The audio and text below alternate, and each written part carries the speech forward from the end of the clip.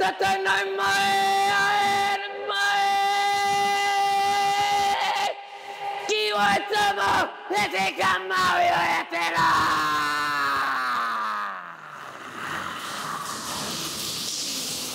So, Tiffany Wanamakita, no! Kiri roi wai katoa hau. Mana, ino anai! Kiro Korea!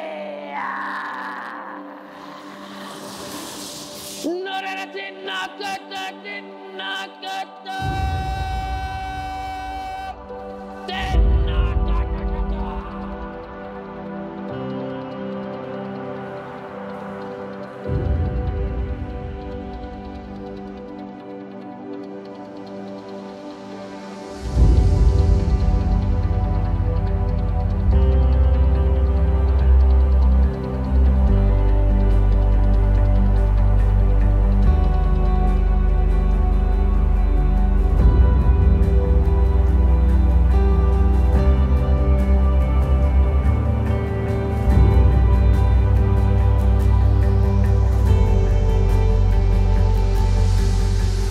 The idea for the Māori people is that they go into the ground in the way, same way that they came. They're from uh, Papatūānuku, Earth Mother. You come from the earth, you go back to the earth. And so if they were safe back in the earth, then they would then travel to Cape Reinga and then back up into Hawaiki, into paradise, into heaven. We are all made from stardust. The earth from which we came is the earth that we will return to in the end. Ashes to ashes, dust to dust, or maybe back to the stars. The old legends say that when we die, we become a star in the sky. We ascend into the heavens to shine on and protect the ones that are still alive, walking the earth. Maybe we'll never know, but one thing is for sure. We, like all life on the planet, are made of stars, water, earth, wind, fire, and life.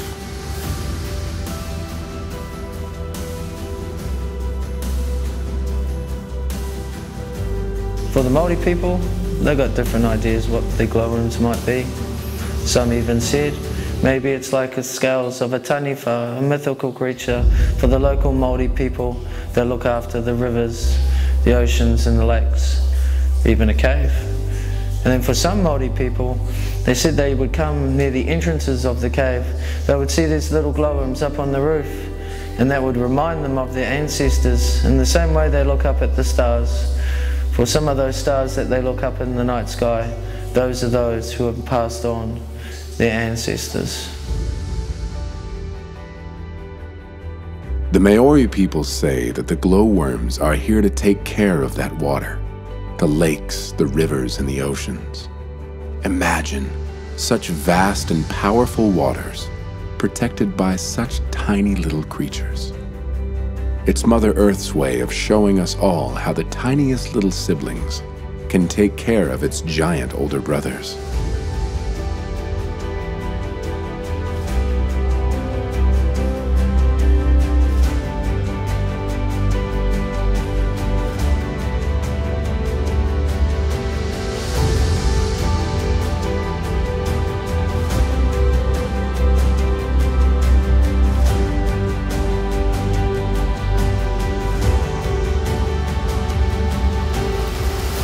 No matter how small or how big, that's what siblings do.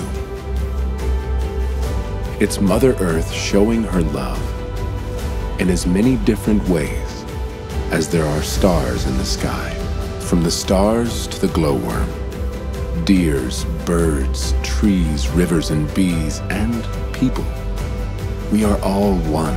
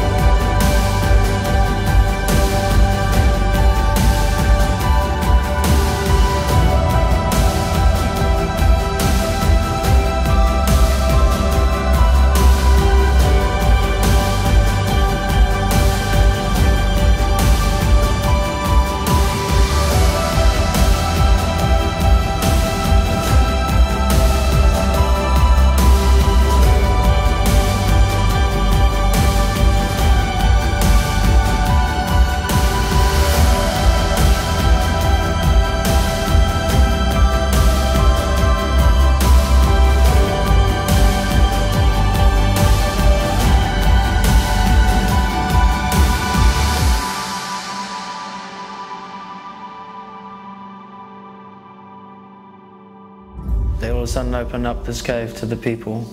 Uh, that was about 20 years afterwards, and ever since people have been coming into Waitomo, discovering these little glowworms, whether they're floating or standing there, and they would usually say it's like floating through space or standing and looking up at the stars.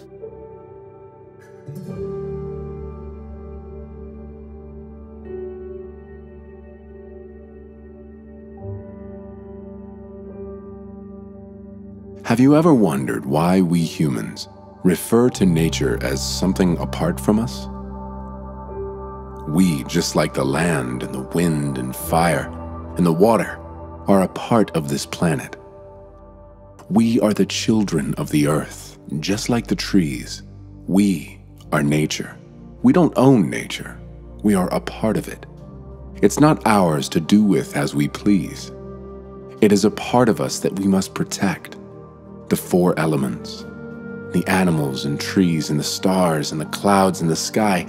We are all a part of this gigantic universe with which we are one, united by this single power that is common to all the beings of the world love.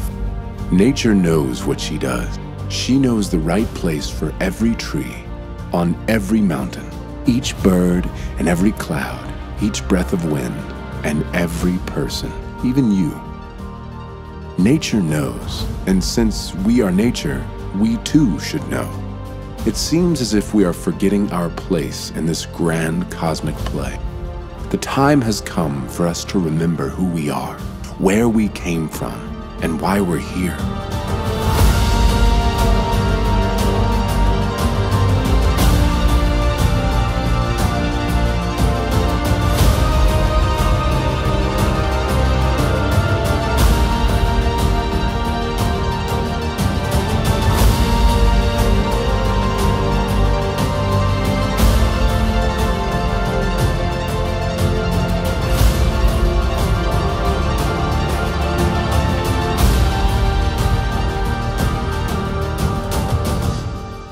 Must reconnect with our essence, with our nature. Like Carl Sagan once said, we are all made of star stuff. The nitrogen in our DNA, the calcium in our teeth, the iron in our blood, and the carbon in our apple pies was all made in the interior of collapsing stars. We share this planet with all the other creatures, our siblings. So to take care of planet Earth is to take care of ourselves, our children, our life. Just like the stars in the sky that protect us, shining their light on the ones still alive, walking the earth.